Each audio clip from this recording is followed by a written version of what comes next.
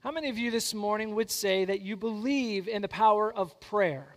How many of you say, I believe in the power of prayer? Many of us. That's good. Good show of hands. Now, how many of you be willing to admit this morning that you believe in the power of prayer, but you can admit this morning that you probably don't tap into it quite enough? How many could say that? Good, good, good. Honesty. I love honesty. Because I believe in the power of prayer, and I know that there are times where I am not tapping into it as much or as often as I could or as I can or even as I should. Because it's amazing when we think about the power of prayer. So, why is it that we believe in the power of prayer, yet we don't tap into that as often as we could? I think there's a couple of different things. I think one of the main ones is, is we don't necessarily feel confident. We, we don't necessarily know what to say. Now, I'm not talking about just in social situations when we're gathering with a group of people and we're praying. I mean, sometimes just being alone, one on one, with God in prayer, we lose the words. God, where do I start? What do I say? Well, well the good news is, let me just kind of just put this right out there up front. You don't have to say anything. Sometimes the best thing that we can do is just simply come before the presence of God and listen. Or we come into the presence of God and we just allow God to speak on our behalf. We have a Holy Spirit who groans when we can't even utter words, when we can't even articulate what we need to say to God. The Holy Spirit groans on our behalf. Isn't that beautiful? Isn't that wonderful? That you don't have to know what to say. And, but I think sometimes because we don't know what to say, we end up being a little bit stumbled like, what do, what do I do? Maybe we don't pray with power and, and we don't pray as often as we should because we're, we're not confident or we get bored. How many of you have ever gotten bored praying? I've gotten bored praying. I've fallen asleep when I've prayed before. F- for real. Y'all are laughing. You've fallen asleep when I've prayed before, too. so let's just be honest this morning. But I mean, you know, I, I like, and, and, I used to tell my students all the time because I was just trying to engage. When I was a youth pastor, I was trying to engage the youth in this understanding that they can pray to God and it's okay to fall asleep praying to God. Where else is a better place to fall asleep? Now, if it becomes a chronic thing, then we have to adjust. Maybe we want to pray a little bit, you know, sooner before we go to bed. You know, dear Lord, I thank you so much for. Oh, oh no, uh, and Lord, where did I leave off? Oh, yeah. And uh, you are great. Uh, you know, so it, it kind of happens, doesn't it? It happens. Maybe we're distracted when we pray. You know, I know for me, I'll be in prayer. I'll say, Lord, I just want more. I want more of you. I want s'more of, well, s'mores sound really good right now. S'mores, that's a fall treat. It's fall. Wow, the leaves are falling. Did we mow the lawn? I got to put the fertilizer down. Did we do that? We got to I got to make sure the sprinkler system is turned off, you know. And so all of a sudden we're in the middle of prayer talking about how we want more of God and now all of our to-do lists to start piling up, right? How many have been there? How many have been there? Right. Absolutely. And then times there's times when we're just intimidated. We're just intimidated by sometimes the the powerful prayers of the people around us. You know, there's times when even like in prayer meeting, um, you know, I, I love to pray, but when I hear other people pray with incredible power, sometimes I'm like, wow, I don't measure up. You know, and then there's like other times where sometimes you're like standing around, you're like, okay, Elijah, you know, let's keep it, you know, keep it down a little, right? You get the you know, they're calling down fire from heaven, and and and you just sit there and you're like, I'm not that person See, the greatest thing is whatever person you are, whatever personality you have, that's what you bring to God in prayer. You don't have to be anybody different. You don't have to be like anybody else. You can be Moses, right? Or you can be Aaron. Aaron was the orator, Moses was the guy that was kind of stumbling and bumbling through. You can be who God created you to be in that moment because guess what? When you pray, where does God look? right into your heart. He sees your heart. We're going to get to that in a few seconds. I have a confession to make. Um, during prayer meeting here on Wednesday nights, there are people that, that they sacrifice, they take one for the team, and they stand next to me when we pray. because people don't like standing next to me. Because when I start to pray and, and the Holy Spirit starts moving, you know, uh, you might get one of these, right? You might get a knee, a knee rock. I'm a knee rocker, right? So you get the knee rock.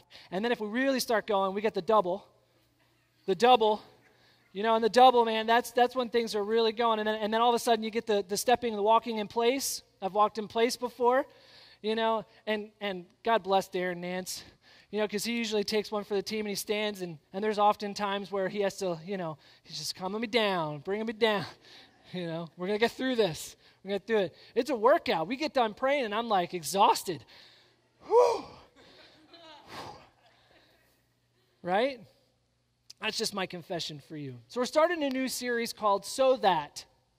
That's an interesting title for a series, isn't it? So That. You know, because the reason why we titled it So That is because we want people to ask, So that what?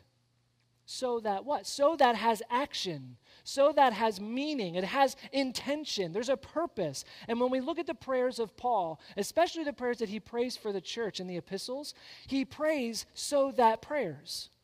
They're powerful intentional, specific prayers that are meant to do something. He doesn't just pray and then say amen. He prays and he says, so that. Because he's communicating to the church, he's communicating to the people, he's communicating to you and I when we read those letters. And he specifically wants us to experience things. So he puts in this, this tiny two word phrase, so that. I love it. So we titled a series, So That. And we're going to look at the powerful prayers of Paul. Because the truth is, this morning, I think if we're going to learn something about prayer throughout this series, it's to realize that our prayers are not specific enough. They're too general, and they're not specific. And a lot of times, our prayers really lack power. Here's an example.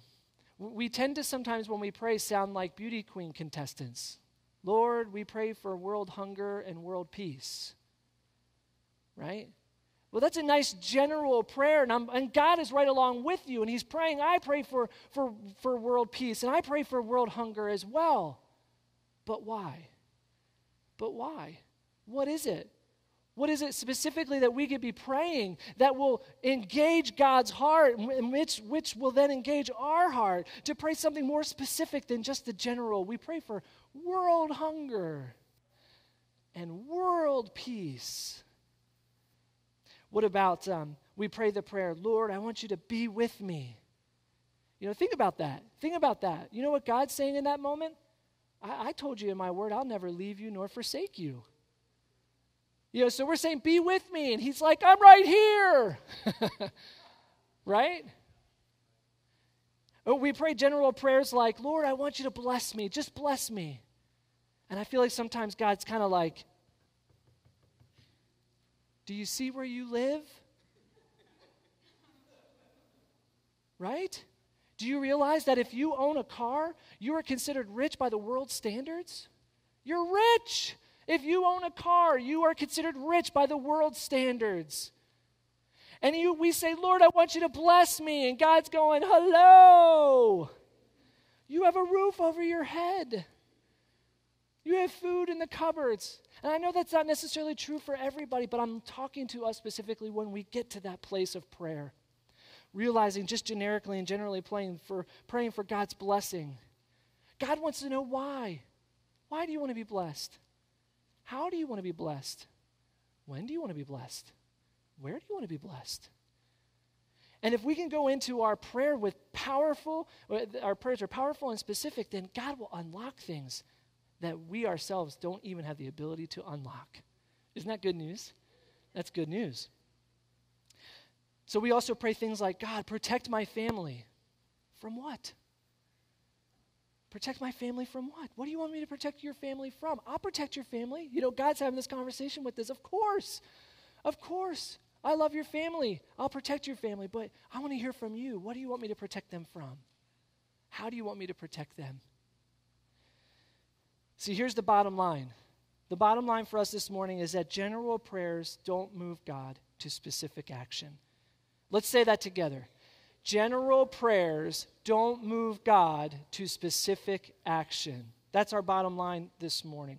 I got an example for you here in Martin Luther. Martin Luther, you know, was the father of the Reformation. He had a friend and assistant named Frederick uh, Myconius. Frederick Myconius in 1540 was working with Luther hand in hand to reform the church. And Myconius got to the place in 1540 that he was about to die. He knew he was about to die. So he wrote his final letter to Luther and said, and said, Martin, I've loved working with you. I've loved reforming the church, but it is my time. I'm going to die. I just wanted to write this final letter to tell you how, how great of a work you're doing and how much you've blessed me. So, Martin Luther, in that point, all of a sudden, he doesn't just write back and say to Myconius, Oh, so sorry to hear that. I hope this letter gets to you in time, right?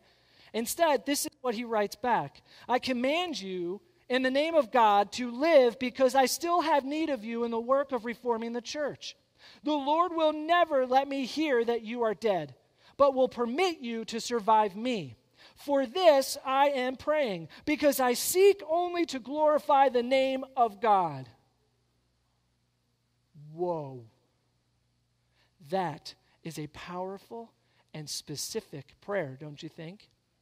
What would it be like to engage that part of our Christian faith that we believed with so much power and we prayed so specifically that we saw God answer prayers like these? How awesome would that be? So I know what you're asking. What happened to Myconius? Well, Myconius at this stage, when he received this letter, couldn't even speak. The doctors at the time said that he has days, days to live. Myconius heard this prayer that Martin Luther prayed for him, and suddenly he began to speak. Suddenly he got out of bed. And suddenly he went back to working to help Luther reform the church. Now, here's the incredible thing. You ready for this? Do you know when Myconius died? Six years later. That's not the most, inc- the, the most incredible part. He died six years later, two months after Martin Luther died. He outlived Martin Luther. I mean, how cool is that when you realize that when you believe and have faith and pray with power and specificity, that God desires, listen, bold prayers honor God, and God honors bold prayers. Bold prayers declare to God that you believe that He is the only one that can do it. We have to stop praying for the things that only we can do and start praying for the things that only He can do. We have to start getting to a place in our prayer lives that we realize, God, I know you're going to use me. God, I know that, and I desire to be used. But Lord, I need you to use me in such a way that when people see me, they see you. When they see our church, they don't see Trinity Church at Trinity at 1451 Raymond Drive. They see the power of God working in the kingdom. That's where we need to get to in praying powerfully and specifically. You know, Luther didn't say, Lord, be with my friend Myconius, right? He didn't even pray, Lord, heal my friend Myconius. He didn't pray that prayer. He says, I command you in the name of God. Now, here's the thing do you know why we don't pray these types of prayers? Because we're afraid of God's answer because we're afraid of God's answer. We're afraid that if we pray with such power and such, and such specificity, that's a tough word. we're afraid that when we pray that way, that if God doesn't come through and if He doesn't answer it the way that we prayed it, then God has let us down. And we get fearful. And we say, well, I'm just going to pray the prayers that I think and believe that God will answer. No. Listen, God answers your prayers every single time. You just have to be okay that sometimes the answer is no. He answers our prayer every single time. Sometimes it's yes, sometimes it's no, and sometimes it's wait. And we have to be okay with that. But it doesn't change the fact and the power in which we pray. It doesn't change the intensity by which we pray and the desire by which we pray and the faith and the, and the belief that we have when we pray. Pastor Katie hit the nail on the head in her prayer, or before the prayer, when she said, What she's learning is that if you come expecting and anticipating of what God is going to do, boy, does it change your prayer life. How awesome is that? Luther prayed with power and he prayed with specificity. And who got the glory? Who got the glory? God. Everybody knew that Martin Luther didn't heal Myconius, right? They knew it wasn't him. All of a sudden, Myconius gets up, he starts speaking, he starts going back to reforming the church. He lives for six more years. You know, every time Myconius walked down the street, people are going, Miracle! right? Right? And they're not going, Wow, Martin Luther is amazing. No. They're going, Look how incredible God is. Look how incredible God is. God got the glory. John 14, 13 tells us that you can ask for anything in my name, meaning Jesus. You can ask for anything in my name, and I will do it, so that the Son can bring glory to the Father. So when we pray, a part that we can add into our prayer is God, our desire is that when we when we do these things that it will bring glory to you not to me but bring glory to you. So let's go to the scripture ephesians chapter 3 it's page 896 in your pew bibles. And i'm actually going to cheat this morning. I'm going to use the niv um, because the, the word so that which is the, which is the intention of our series appears in the niv so I'm going to have, uh, I'm actually going to have the scripture up on the screen in the NIV, but you can follow along in whatever translation that you're reading. So we start in verse 14 of chapter 3. He says, Paul, for this reason I kneel before the Father. Now let's stop there for a second. What's interesting about this posture that Paul is taking is it's a little bit different than what he's used to. Paul, if you remember, grew up um, in a Jewish understanding. He was, he was a rabbi, he was rabbinical. He studied under the greatest rabbis in the teaching of the time. And when they would stand to pray, they would stand like this. They would stand with their heads lifted high or heads lifted or low, and they would stand with their hands outstretched and their palms to the sky. This is the typical stance of prayer that they would take. Paul here is saying, For this reason, I kneel before the Father. Now, put your put your, spirit, your scriptural educational hats on for a minute. Why do you believe that he's kneeling before his Father? What does that posture mean? What does that look like? Humility, right?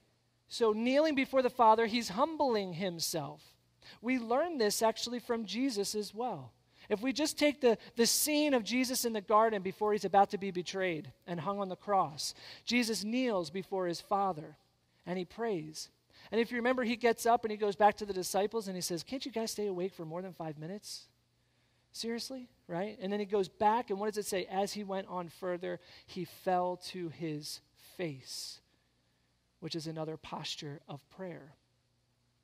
Another posture of prayer isn't it's standing with our palms lifted high. It's it's sitting before the Lord. It's kneeling in humble adoration and lowering our heads down to the ground or it's literally laying out what's called prostrate.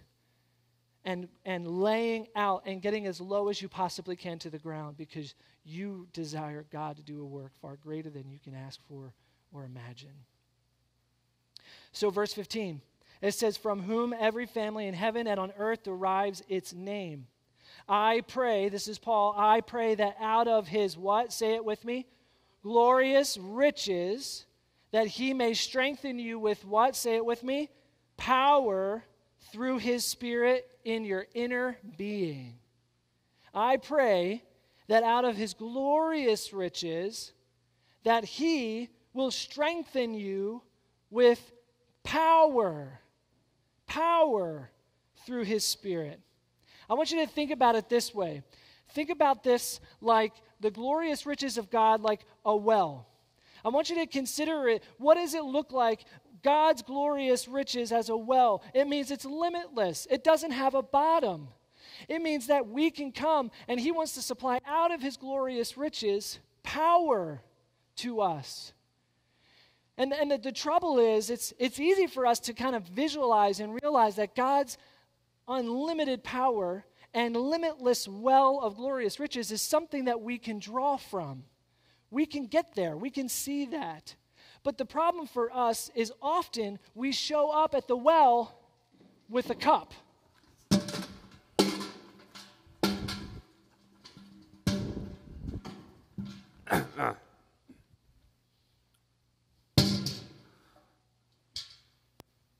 um, hey, JC. How's it going, man? How are you? Oh man, I, I, I came to pray and, and, to get some water from, from the, the, the well of God.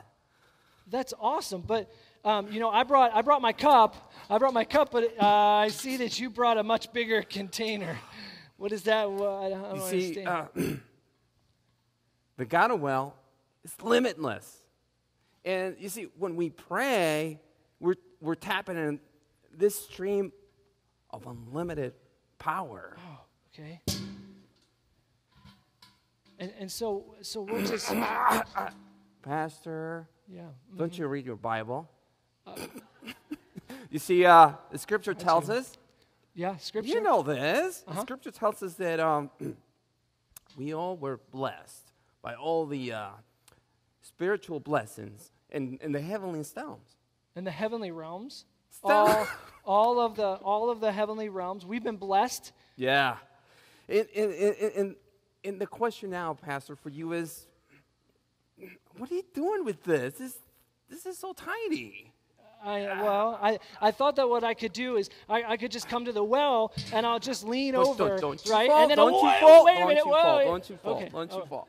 It's a good save. That's a good save. So what you're telling me is my cup is too small. Yeah. That's yep. what you're saying. Yep, yep, yep. yep. See? And this is unlimited power and unlimited glorious riches are down there. And man, you came prepared. You gotta get yourself a bigger container, Pastor.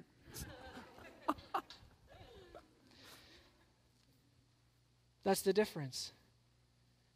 We need to get ourselves a bigger container. We need to realize that God's glorious riches are unlimited. His power is unlimited, it's limitless. That well you will never find the bottom of.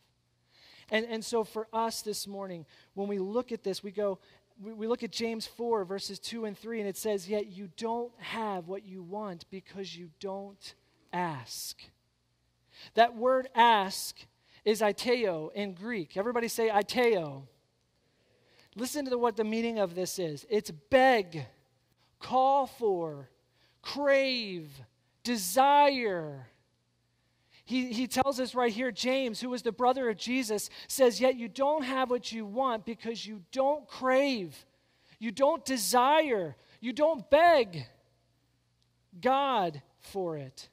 And even when you do ask, even when you do desire and crave and beg, here's the thing. You don't get it because your motives are all wrong. Again, when we enter into that throne room of grace, which earlier in Ephesians 3 it says that we can approach with confidence, approach with confidence. When we do, God isn't necessarily just listening to the words that we say to Him, He is looking directly into our hearts. He knows the motive of our heart. He knows what we're bringing to the table. When we want and desire God to do incredible things, He's going to look into our heart to see if our motives are correct. So we go back to Ephesians 3. Paul is specifically praying that God would strengthen us out of his glorious riches and strengthen us with power through the Spirit. That word power in the Greek is dunamis. Everybody say dunamis. It's, it's actually derived from the word dunamai. Everybody say dunamai. Does that sound familiar to you? Dunamai, meaning power. In English, it's where we get the word dynamite. Dynamite. So when you see the word power, as Paul writes it here, you can think of the power that is displayed in dynamite. It's powerful, it's ability, it means strength. So we get to verse 17, which is kind of the tipping point, and for us is the whole purpose of this series. So that, so that, so all the things that Paul prayed for us and all the things he's praying for you leads up to this. So that Christ may dwell, meaning having permanent residence, in your hearts through what? Faith. Faith is a huge aspect In fact, uh, we've been studying this a little bit on Wednesday nights and looking at the fact that how often it was the faith of a person that healed them. How often it was that, that Jesus didn't look just at what they were saying or what they needed. He would ask them, What do you need? He goes up to blind Bartimaeus and he says, Blind Bartimaeus, what can I do for you? And I would love it if Bartimaeus was like, Duh. You know, my name is Blind Bartimaeus. I'm blind. I could really use sight right now. That would be really cool. But Jesus says, Blind Bartimaeus, what can I do for you? Because he wanted blind Bartimaeus to be ready to tell him what he needed.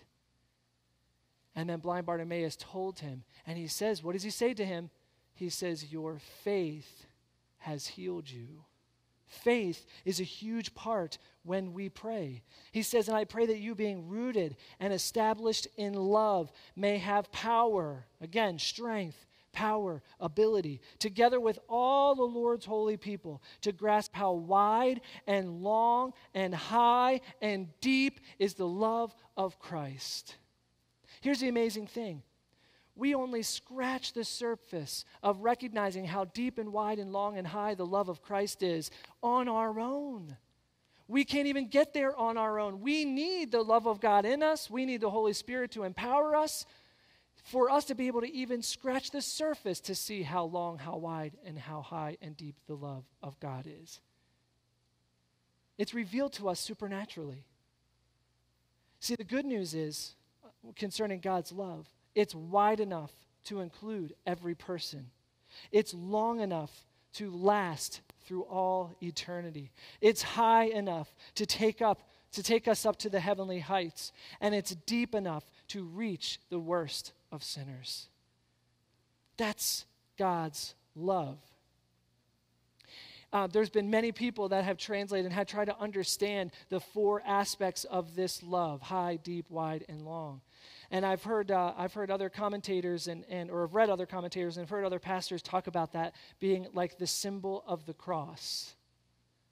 The symbol of the cross, the cross, it's limitless. It reaches as high and as low, and it reaches as wide and as long as it takes in order to reach those who are lost. That's the beauty of God's love and how it is displayed on the cross. Verse 19 and to know this love that surpasses knowledge. Well, there you go. The good news is is we are not smart enough to be able to comprehend God's love. That we need God in order to start comprehending God's love. And so it surpasses knowledge that you may be filled with the measure of all the fullness of God. Whoa. Wait a minute being filled with any measure of God is going to be a lot, and it's going to be pretty intense. Now, Paul's saying, I desire for you to be filled with uh, to the measure of all the fullness of God. Could you imagine what that would be like? Could you imagine what it would be like to live a life where you are filled literally with the full measure of God's love? How that would spill out and permeate everywhere? Excuse me, you got God's love on me. You, you step, just please, please step over there. God's love is just permeating you. You know, would you please stop speaking? God's love just keeps coming out. Right? You know what? You stink. You smell like God's love. Right? Could you imagine that? Could you imagine God's love being so incredibly powerful in our lives it consumes every part of who we are? How cool would that be? It, it's like it's uh, uh, Peyton's favorite restaurant. She loves going to Olive Garden. Yesterday, um, I'm a proud father, and I have a, a proud mother as well, um, Peyton scored her first goal in soccer. It was an incredible moment. It was an incredible moment. I mean, like, literally, you know, everybody else is just kind of, yay, we got a goal. Kaylee and I were like, yeah! You know? Like dancing around the chairs, high fiving each other. Peyton's like, guys, seriously, seriously? What's wrong with you two? So we said to her, Peyton, you got your first goal in soccer. Where do you want to go? And so, of course, she said, Well, I want to go to either Olive Garden or Maggiano's. I was like, Whoa, wait a minute. See, but she loves going to Olive Garden for the Parmesan cheese. For her, it's all about the cheese. And you know when the Olive Garden uh, waitress comes over to your table and they say, Would you like cheese on that? My daughter actually puts out a whole plate. Start filling, right? And she, the waitress starts cranking on the cheese, right? And it starts piling up and piling up. And then, the, like, all, there's that one part where the waitress looks at us, look at, like, should I keep going? And, you know, Peyton's like, come on. come on. And you know, they're trained, they'll keep going until you say what? When or stop, right? I, I, always love going to diners because you go to diners and you get your mug of coffee and all of a sudden they start filling it up. And I love the I love the service. I can do the tall pour. You ever seen the tall pour? You know, they're like whoop and they like raise it up. I'm like, I'm like you are a pro. And and then, you know, and if they're like old school, they'll say to you, now say when when you're, you know, and I like, there's always just one little part of me that was like, I wonder if I don't say when, if they'll just keep going. Because what'll happen to the, to the cup? It'll start to overflow, right? It'll start to overflow. So think about that in relationship to our prayer life. You see, when we go and enter into God's prayer and we enter into God's powerful time of prayer and we enter into the throne room, guess what He starts doing? He starts filling us and filling us and filling us and filling us until we say, When? See, because here's the amazing thing we can control how much or how little we want of that power. God's power is unlimited. His desire for you is, is to, is to uh, come alongside and to bless you richly. And so when we come to Him, we have the ability and desire to say, God, I want more. I want more. I want more. Here's the good news, folks you can't pray too much. You can't show me anywhere in the Bible where God was like, oh, okay, oh, okay, we, you've reached your prayer quota.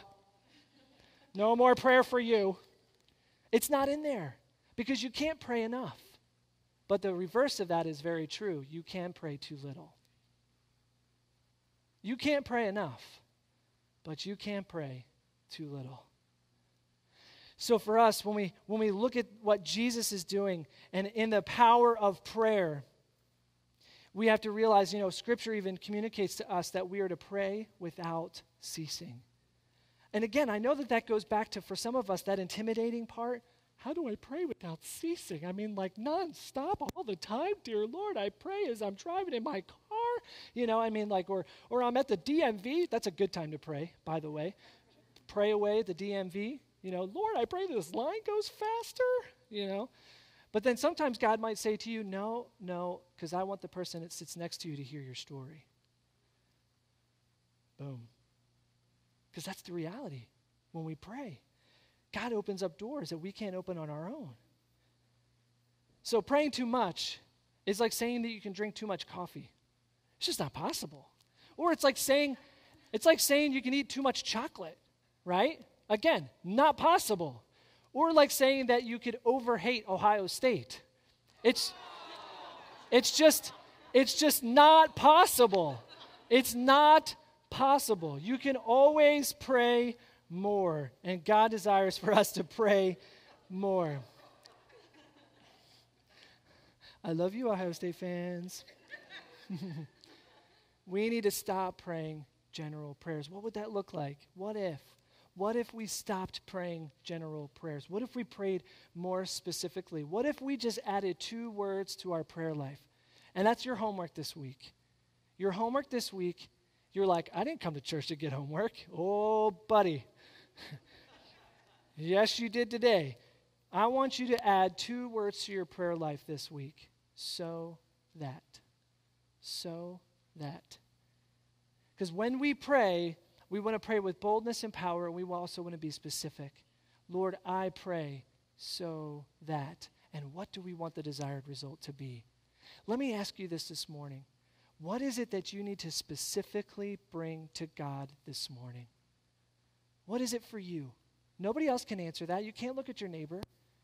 You can't talk to the person next to you. It's yours. What is it for you? You would say this morning, I need to pray specifically for this in my life. See, the bottom line is general prayers don't move God to specific action. We need to stop praying general prayers for our children. Lord, I pray that you would keep them from drugs. I mean, that's a good prayer. I don't want to take that prayer away from anybody, but what would it look like if we prayed with more power and we were more specific. And we said, God, raise them up to be warriors. Raise them up with the full armor of God that you will protect them from the evil one, Lord. That they will be leaders in their school. That they won't succumb to all the pressures and temptations around them because you are the center of their heart. Because you desire to do a work far greater in them than I could even do on my own. So that, Lord, that they'll be protected from the drug culture and when people come to them, Lord, that they won't, they won't be pulled away because you are strong in them. What if we started to, to pray for our lost children with the same power and being specific? I mean, we can't just say, Lord, be with my lost children. I know they're far from you right now. But what if we said, God, place people in front of them? Lord, I call out their name right now. I want their name to rattle around in the throne room of grace. I want you, God, to reach down right now, to put a burden on their heart, to let them know that they are far from you, that you would place people around them, Lord, that you would help them to come back to you. Lord, I pray that if we do have those opportunities, you would give me wisdom, you would give me the words to be able to speak life into them, Lord Jesus. What if, what if we said, No, God, we're going to pray with power, we're going to pray with boldness. We're going to believe and have faith that not only what we pray is something that we pray that comes from you, but we're going to believe that you're going to answer that prayer. That we believe that you're going to answer that prayer. We pray for our finances. Lord, I pray for my finances. I pray that you would, you would help me. I mean, but what if we understood the power of Scripture? That when he says, I neither will I leave you nor will I forsake you, he's talking about our finances. You say, Lord, you told me that I would never have to beg for a crumb of bread. And so, Lord, I pray for my finances. I know that it takes responsibility on my part. And I pray, Lord, that you give me the opportunities to be faithful to you in those moments. I pray, Lord, that, that your spirit would reign over my checkbook, that I would stop realizing that this is done on my own strength and by my own power. But, Lord, I relinquish control to you. I give you my checking account. I give you my job. I give you my, my family, Lord, because I desire so that you can reign supreme over every aspect of my life.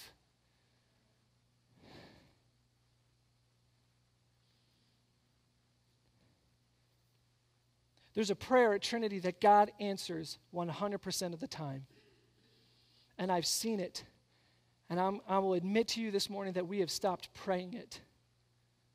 Every time that we have prayed for God to reach his hand out across to Raymond Drive and to draw people unto himself through this church, we have seen people literally walk in off of the street and we have asked them, Why are you here? What drew you here? And the only response they can give you is God.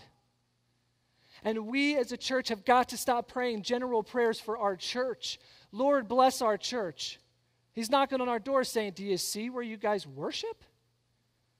Do you see what you have in front of you? Do you see all the opportunities? Instead, we need to get specific about praying for our neighborhood, praying for our community, praying for your neighbors. Lord Jesus, I pray that you would move in a mighty, powerful way, that your Holy Spirit would go out of this place, that this place would get brighter and brighter as the world around us gets dimmer and dimmer. Lord, I pray that you would go out onto Raymond Drive and you would draw people in. Lord, that you would do a miraculous work, that the only way that we could explain it is by your power, your glory, your Holy Spirit doing a work in this community and in this church. Lord, we want to pray specifically right now that you would begin to raise up leaders in this church, Lord.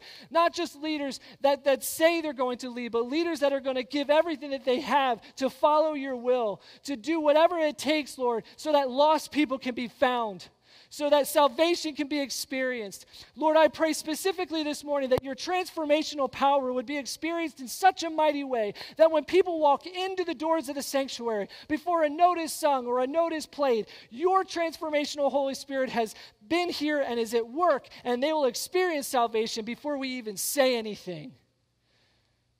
Lord, we want to pray that prayer specifically this morning so that you will receive the glory, so that this world will be transformed, so that we'll see the drug culture in Naperville drop, so that we'll see the domestic violence in our neighborhoods go down, so that we'll see our young people raise up and make a difference in the world around them. Lord, we pray this with great power this morning. In the late 1800s, I'm going to end with this story. Was the middle to the late 1800s, and, and uh, there was an evangelist and a missionary named George Mueller. George Mueller was, uh, was the leader of the Ashley Downs um, orphanages in England, and they were named after their location in Bristol, England. And George Mueller was a person who, by the end of his life, had reached 10,000 people. Or, I'm sorry, 10,000 orphans were cared for by George Mueller. 10,000. Actually, there was more than that. More than 10,000 orphans were cared for by George Mueller and the homes that he established. Here's the amazing thing George Mueller never asked a person for a dime. Never asked a person for a dime. He never raised any money for his ministry. Instead, he prayed very specific and very quiet prayers, and then he stood back and he watched God work. He watched God do incredible things. When George Mueller died, this is amazing. This was uh, like I had to actually double check this stat. When George Mueller died, they found over 50,000 recorded answers to prayer in his journals he wrote down every specific, God honoring, bold prayer. And when he died, they were able to verify over 50,000 recorded answers to prayer. George Mueller has done amazing things to impact the power of prayer in people's lives, and especially missionaries on the mission field and evangelists. What would it look like, church, if we started to pray with power and prayed specifically? What if we started to write down the prayers that we desire for God to answer? I can tell you from personal experience, I love seeing post it notes on a wall that says prayer and then praises and answered prayers and moved around the wall, because praying specifically for people and watching God answer those prayers. We don't need to be fearful of what God is going to say. We need to be fearful of the fact that we're not saying it. We need to approach the throne room of grace with confidence and come and boldly proclaim with power so that even in those moments we'd be filled with the full measure of God's love. What is it that you need this morning? What is it that you specifically need to pray boldly and specifically to God about? In the bulletin this morning, there is a card. And that card is just going to serve as an instruction for you this week. You don't need to fill it out right now. I want you to take it with you. If you don't have one or if you didn't grab a bulletin, we've got extras on the table in the back. And I want us to I want us to just do this homework this week. Add those two words to your prayer life. Pray for power, pray with power, and add so that. So that. Can we do that? So this morning, as we close, um, there was a song that we sang earlier in the service called Give Me Faith. And I love the, the, the bridge of that song is Give me faith. Um, my flesh may be weak, but your spirit is strong in me. My flesh may fail, but my God, you never will.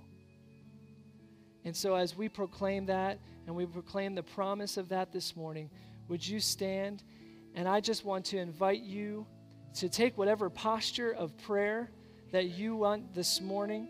if you want to come forward and you've got a request that you want to take to God and you want people to pray with you, we will be glad to do that.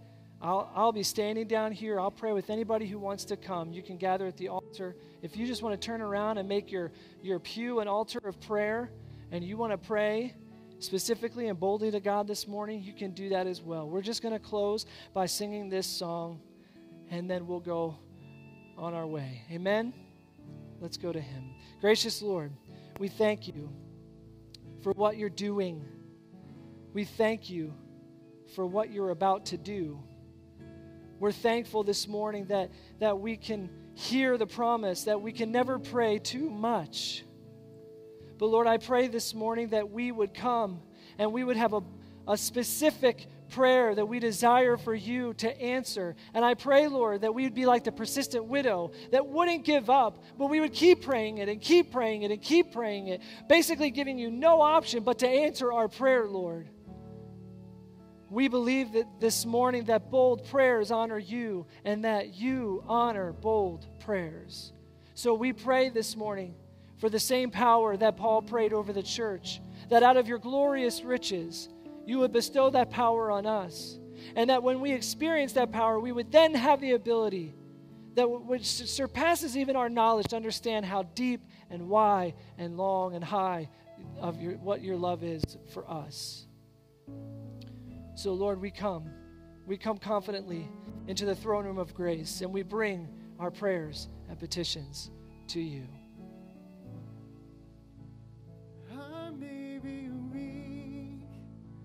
Your spirit is strong in me.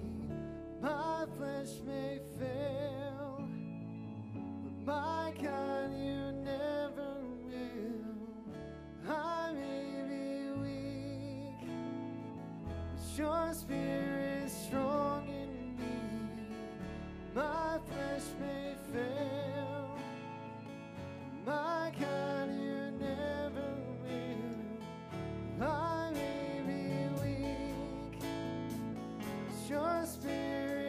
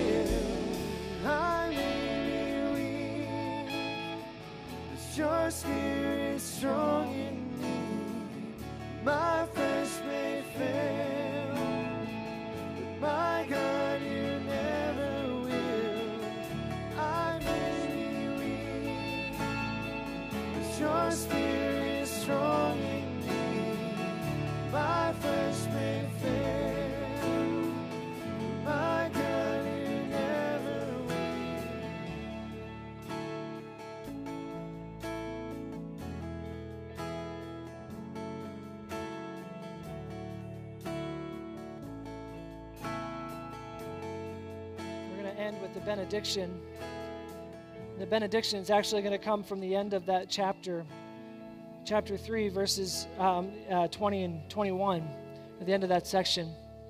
And it says, Now to him who is able to do immeasurably more than, we, than all we ask or imagine. Let me say that again. Now to him who is able to do immeasurably more than all we ask. So that means even in our prayers, He can do more than what we even ask for.